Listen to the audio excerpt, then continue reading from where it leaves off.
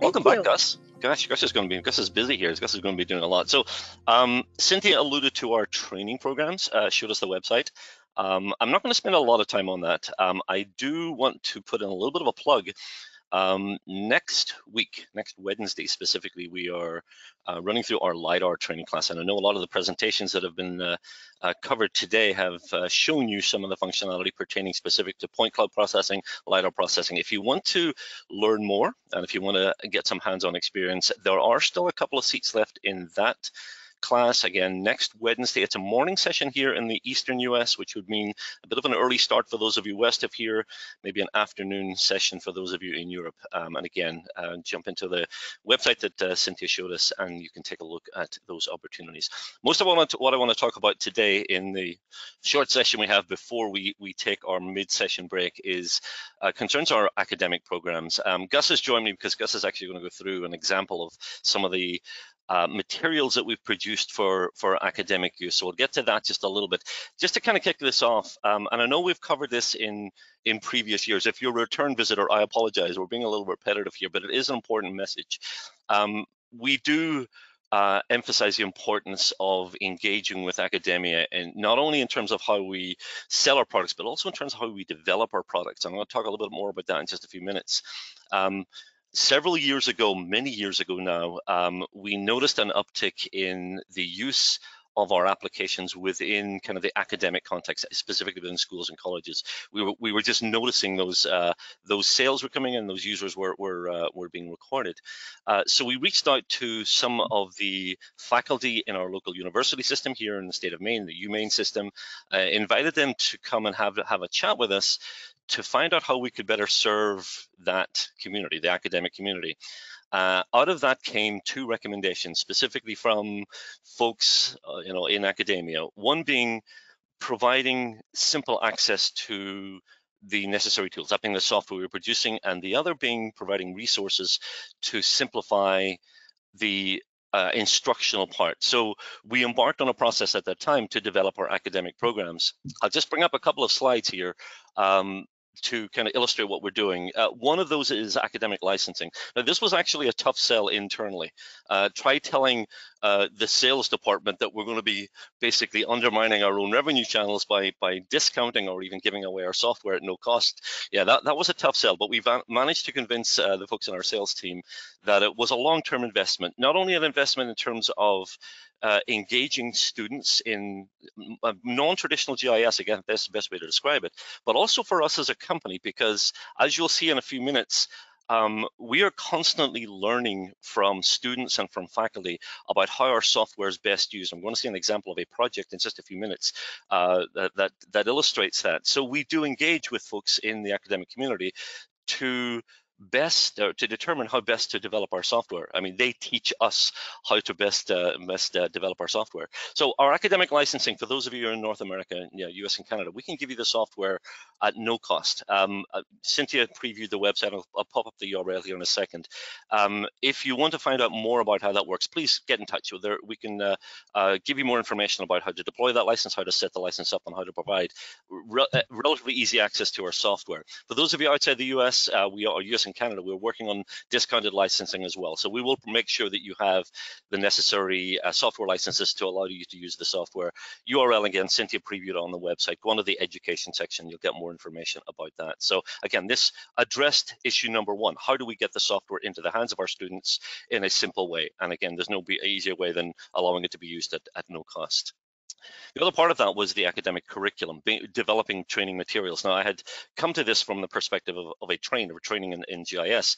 So we thought, why don't we develop materials uh, specifically for not necessarily instructing people how to use uh, Global Mapper, but rather introducing the broad scope of GIS. And we like to think that Global Mapper does that very effectively because it is generally considered a relatively easy application to use. So developing materials that kind of introduce folks who are maybe not focused on GIS, folks who are maybe studying in, in a different discipline, but allowing them to be introduced to the, the principles of GIS and doing uh, using Global Mapper for that purpose. So again, we, oops, wrong button, uh, we developed a, a series of uh, academic labs. I think initially there were about half a dozen uh, lab material labs with uh, written instructions, with uh, data that we made available. I think we're up to 12 now, if I'm not mistaken, Gus. I know you're going to be looking at these more detail. That's correct. Yeah, 12 yeah. labs, and that will continue to be developed as we introduce new functionality, some of which you've seen over the course of the presentations today. Those will be incorporated into, into more labs. So this is a, an ongoing process. So again, these labs, as Gus will show us, are, are um, written instructions as well as complement, uh, supplementary data. Again, URL on the, on the screen here or where Cynthia guided us earlier will give you more information on that. So at this stage, I'd like to hand over to Gus. Gus, you've been kept very busy today to maybe walk through the lab structure and look at an example of how those labs work. So uh, Meg or Cynthia, if you could switch the uh, screen share over to Gus, he can guide us through that process. Thanks, David. Let me just share my screen here and just verify that the correct screen is showing. Everything looks good. Awesome. So let's have a little uh, kind of sneak peek here about if you are enrolled in the academic program, the um, academic labs that are available upon request. Um, and these cover a broad range of kind of introductory GIS topics. We have a basic introduction to the principles of GIS, uh, creating a terrain surface, just to name a few, uh, image rectification or georeferencing. Uh, the one I'm going to be going through today, which is um, an introduction into watershed modeling. Um, one of my favorites, a suitability analysis uh, for a, a, solar power project. So these cover a broad range of uh, just general or more specific uh, GIS functionality. Let's open up uh, the lab that I'm going to be covering today and kind of have a look at the structure here. So initially there's going to be some uh, basic background information outlining uh, the steps that you're going to participate in. And then the lab is broken down into uh, different sections. Um, and each section is going to kind of highlight a different uh, particular facet of whichever topic is being covered. For this example, uh, this first section, which I'm going to go over in Global Mapper in a minute, is related to uh, creating stream paths or a drainage network from a digital elevation model. So you would generally work your way following these step-by-step instructions. And then once you've um, reached the end of the step, the guided um, part of the academic lab, there's another section down below here that comes with a second supplementary data set, uh, which is not um, written step-by-step -step instructions, and it is a um, opportunity to take what you just learned and apply it to another data set. And this is the part that I really find to be the most enjoyable, being able to take what you just learned and then apply it to another data set um, kind of on your own terms. So let's jump into Global Mapper here and just give a little more kind of a brief example of what some of this material entails. So this particular lab, Lab 6, as I mentioned, is related to creating a watershed model. So we're going to be using this Create Watershed tool a lot. And in simple terms, what this tool does is model the likely locations that uh, water is going to flow on top of our terrain surface with our um, elevation model being our input data. So I'm going to select to create a watershed area, and we can call this first one stream paths A couple of the important parameters here that are going to be gone over in the um, academic lab material. Our stream threshold is a minimum flow accumulation threshold. Uh, you can imagine as you move um, from one cell to another, uh, modeling the flow of water, uh, those cells are going to be accumulating flow uh, downstream.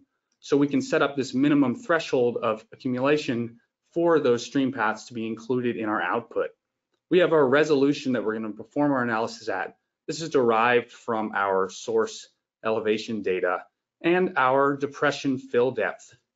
So elevation uh, models tend to have kind of anomalies in the data, kind of depressions or holes that will stop flow in a way that is kind of artificial and uh, would not happen in the real world. So to be able to better model um, how the water is going to run on that surface in comparison to how it would do it in the real world, we can kind of fill in some of those depressions uh, to give us a better output. So I'm going to let this run here, and it's going to create my stream paths. If I use the feature info tool here, I can select a particular stream path and see that it's been given an inflow, the total number of cell accumulated um, at the beginning of that stream, as well as outflow, total number, number accumulated at the end of that stream, as well as a drainage area, the total area that drains in that particular stream segment. I can search my uh, line data here by using the search vector data tool. And what I'm gonna do here is we see we have my kind of list of results with all of their attributes. I'm going to limit this list to just areas that have a drainage, or just lines rather, excuse me, that have a drainage area that is greater than two square kilometers. So I'm selecting this drainage attribute. I'm going to search, and now my list is limited to just um, the lines that meet that criteria. I can select all of those. I can easily copy and paste those to a new layer if I wanted to. I'm going to turn this off. Let's create another watershed, and this time we can call this one um, watershed areas. And this time I'm going to check this option to create watershed areas showing drainage to streams. And this is going to create these uh, differentiating um, areas that uh, drain from to one side or another. They're typically divided by the ridge lines on your data. We'll see that how that looks once it's run. You can see that we've created these new um, watershed areas. For the next section here, we're going to talk about how our stream threshold affects our output. We're, can call this new layer large watersheds. And let's change our stream threshold to a minimum um, drainage area of one square kilometers. Um, and this is going to only include in our output those larger segments um, that, or larger lines rather, uh, stream paths that have a minimum uh, drainage area connected to them of one square kilometer. So we can see we have these more generalized um, watershed areas here as well as more stream paths generated. Moving on, let's talk about one of the most common uses of uh, watershed analysis in GIS, which is the ability to model flow from a particular point, also known as water drop analysis. So I'm going to select that point with my digitizer. And again, we can jump back into our watershed generation tool. We can call this water drop analysis, if I can spell, there we go. And this time I'm going to check this option to trace flow from our selected points. And this is going to simulate, if we can imagine, if we basically poured some liquid out right here. Maybe there was a leak from a pipe, or we want to figure out if liquid was released at this point on the surface, where is it likely to run towards? And we can see that it is indicated, the path it's going to take is indicated by these little arrow features. Once again, I'm going to jump uh, back. I'm going to select another point here. And this is another really common uh, GIS uh, watershed analysis, which is the ability to create a catchment area that drains to a particular point. Maybe this is the location of a drinking water source, and we want to verify um, what extent drains to that particular location. So with this point selected, once again, I'm going to open up my Create Watershed tool, and we can call this catchment. And this time, I'm only going to check this option here to create watershed areas showing drainage to my selected point. I'm going to increase my flow threshold here to account for uh, maybe my point feature isn't exactly on the line of flow. I'm going to kind of increase the resolution to look for that point. And there we go. We have our catchment area here. Now, I'm going to select this catchment area, and I'm actually going to turn on this parcels map underneath. And I'm going to we have some pre-configured styling, I'm going to color this parcel map based on whether it falls within this catchment area. So I'm going to right click and I'm going to choose advanced selection options, select all um, of my features that are contained within this feature that have any overlap. So now we selected those. Again, I'm going to right click. I'm going to edit those features. Again, we have some pre-configured styling. We have this watershed attribute that's set to no, but I'm going to edit that for these particular features and set it to yes. And we can see here now we have uh, uh, effectively added this uh, thematic mapping based on whether those parcels overlap with our catchment area. So I'm going to open up, we're getting close to the end here. I'm going to open up my terrain grid again. And one, and I'm, this time I'm going to again create my stream paths, but this time I'm going to check an option to create flow directional arrows. And we'll see what those look like once I've run it. So initially, once I have created my output here, it's going to look essentially the same from my first run, our stream paths. But if we zoom to a specific extent, we can say that we have generated this quiver plot of these scaled vector features. And these are scaled based on the uh, flow accumulation at that point, and then they are angled um, or oriented towards the detected flow direction. This is a really valuable way to have a look at the highly localized um, slope and then uh, wa water analysis characteristics of your landscape at that highly localized level. So there's one more uh, little section here I'm going to go through. I'm going to turn on this lake polygon. I'm going to select it with the digitizer. And let's say we want to figure out if the water level increased by four meters, what would the, be the extent of that flooding or where uh, would be covered by water if we had that water level rise. This is a separate tool that functions um, pretty similarly to the watershed analysis tool available under the terrain analysis menu. So with that uh, area feature selected, I'm going to choose to simulate water level rise. Let's do four meters. We can call this four meter rise. And we're gonna increase from our selected areas. And once we've created this, we're gonna see a pink polygon that represent, represents the extent um, of water if we had a rise of um, four meters in terms of our water levels. So that's the end of the written instructions that are included in our handout. Now, once you're done with that, you're gonna have the ability to perform this exercise. Um, and for this particular example, this is going to allow you to play around with creating a catchment area that drains to the outlet of the Mississippi River, which is one of the larger rivers in the continental United States.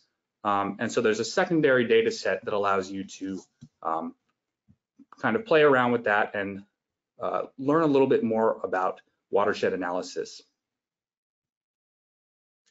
See, David, anything else that I'm forgetting. I have to, to say, Gus, that, that was that was the fastest I think that lab has ever been completed. Amazing.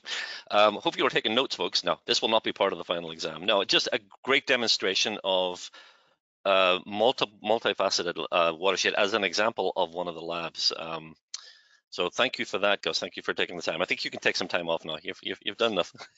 take a breath. Um, Meg or Cynthia, if you wouldn't mind uh, bringing the screen back to my side again, just a couple of additional slides if I can get my mouse to work. Thank you, Meg. And let's see, let's make sure we're sharing the right monitor. It looks like we are. So again, the labs of which Gus gave us uh, an example, there are 12 of them. Um, if you are uh, interested in seeing them, just uh, again go to the website, let us know, and we will uh, be more than happy to set you up with those labs. Now, the final slide, we've got about 10 minutes left, a little, over 10 minutes.